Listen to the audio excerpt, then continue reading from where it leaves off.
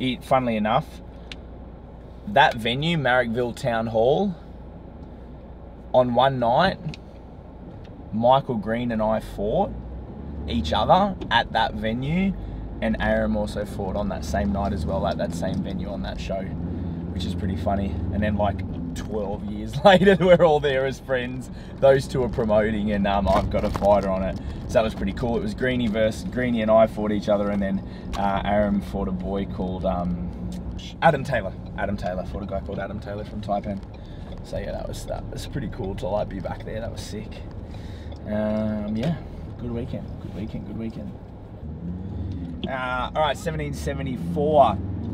We had four fights on the weekend. Uh, first of all, shout massive shout out to my Canary brother Aram and uh, Greeny. That was a sick show, man. It was so good. Um, yeah, just the whole day was awesome. The day of amateur, on the amateur day, we had three people fighting. We had Boomstick, he got the win.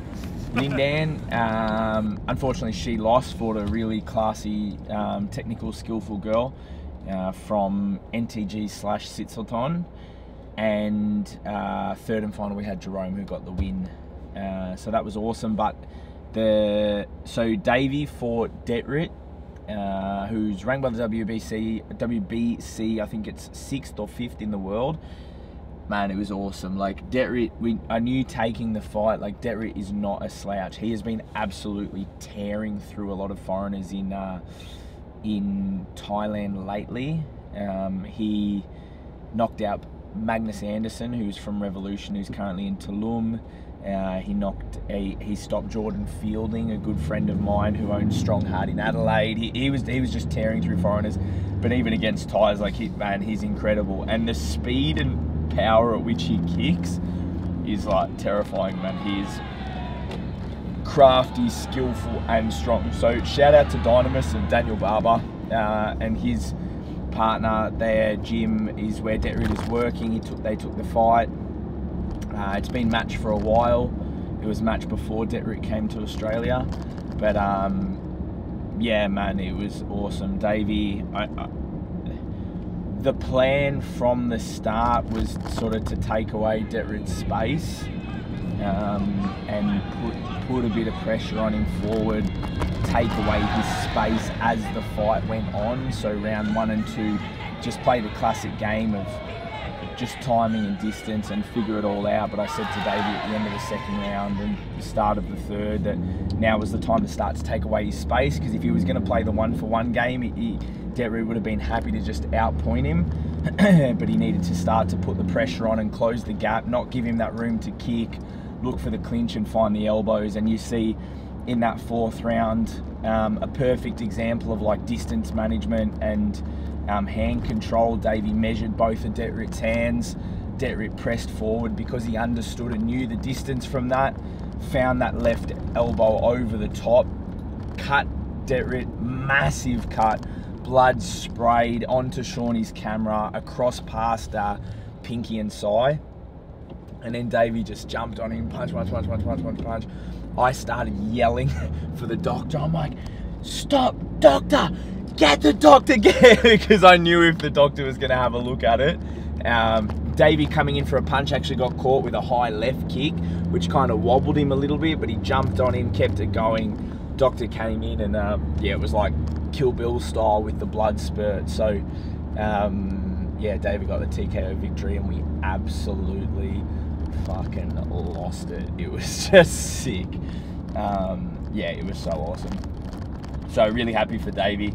He obviously had a re- recently had a uh, a loss to Eddie Abasolo in um, San Diego, which was just a little too little too late on that fight. Once he finally started going, and then a, a really good fight against Yusuf Buganim, but even though those losses were close, they were still losses. So I was really happy for David to get that win back in, and um, yeah, I was so happy. And next year, like he, he's going to have an awesome year. There's already a potential really cool fight overseas uh, lined up for him at the beginning of the year. A possible domestic matchup, I think, which will be really good against um, Cody Jamison from uh, Machete. He uh, Cody stops Riley Anastas from Riddlers in the first round. Um, and yeah, Cody's like really starting to prove himself as like a proper, like one of the top dogs at 72 and a half now. So I think I think he and Davey would be a real sick fight. Um, yeah, plus a, a, another few on the horizon. So yeah, sick weekend. Shout out to my boys that put the shot. Shout out to them.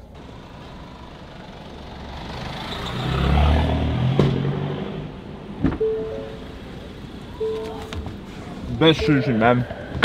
Good size of these fucking rolls. Look at the that roll, man. Shit. I got Sean some too before he runs some fat.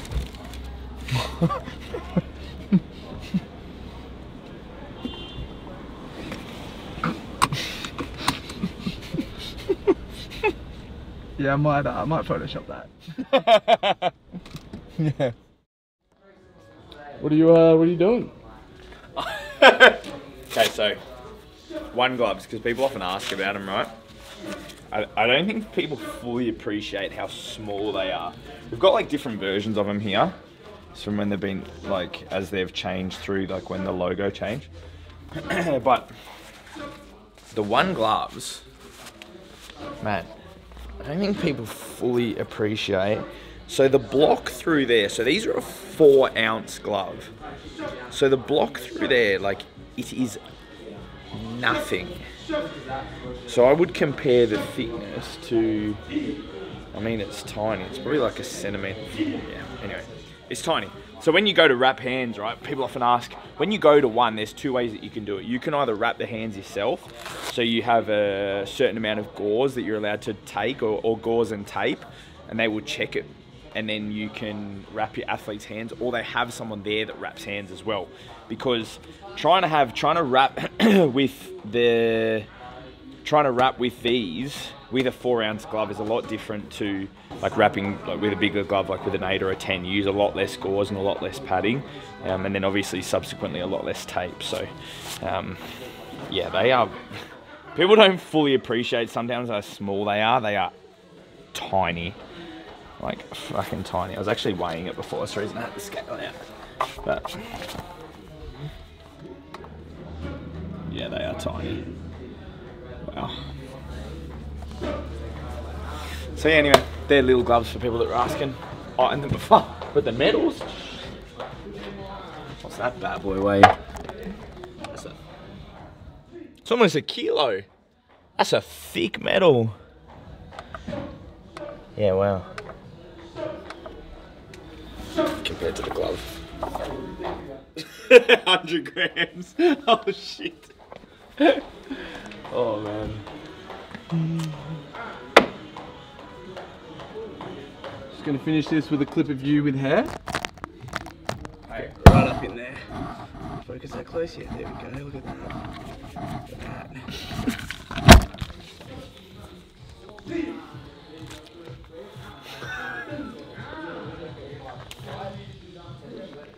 2018. This was 20. Was this like 2018? Yeah, 2018. FISU University Muay Thai World Championships. Diandra won a gold medal for. Um, she stopped Thailand. Thailand first round to win a gold medal. FISU, here we go. That's what they're from. Jesus, this is dirty. I've got to give this a clean. 2018 FISU World University Muay Thai Championships. Gold, silver, bronze.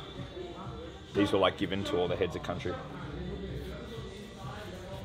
covered in fucking ash from the incense. Oh, this week is Moisop elbows in celebration of Davies' big win against Detrit with his big left elbow.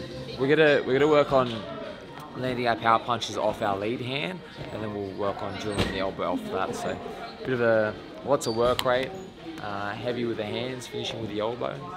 Again, what did the work for me on the Saturday night? So, yeah, kind of trickles down from. We've been doing a bit of that lately. Whatever our fighters have done well, kind of using that as our focus and motivation. So, kind of works nice. And guys seem to enjoy it too. So. Yeah, nice.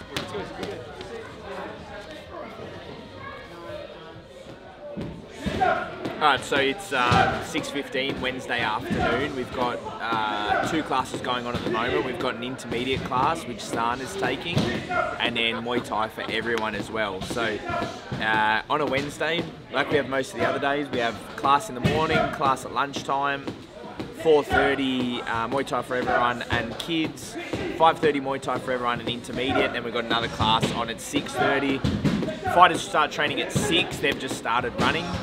Uh, and then they'll do drills and pad work and a few other things. We've only got one person left to fight uh, for the year, unless there's any last minute ones come up. But Mr. Buggy, um, real Slim Shady, he's uh, fighting on hardcore 10th of December. So in about a week and a half. Now, both Kyle, for Kyle, this will be. Is this, is this your seventh fight? This is Kyle's seventh fight, and it's his seventh fight this year. So he had his first fight this year in uh, February. Is your first one in February? First fight was February or March? First fight was in March, and uh, so this will be his seventh fight for the year. He and Jerome are very similar. So Jerome, Jerome and Kyle had their first fight on the same show. Fought on a lot of the shows since, same one since, but this will be his seventh, and Jerome had six for the year, and they just started fighting this year. So uh, yeah, unreal from those boys because solid work ethic, and they put in the work. They've deserved it. And they've just all year um, trained, and any fights I've had for them, they've taken them. So yeah, Kyle will be the last one for the year, hardcore December 10th, and then we'll be back for another massive year. guys are just back from running uh, for 2023. You already have a lot, a lot of stuff planned. So uh, yeah, it's gonna be a good year. And Kyle, last one, finishes off on the 10th, and then we're uh, and it's chill out time. Then it's Christmas party, then it's chill out time. Yeah, Christmas party, then it's chill out time.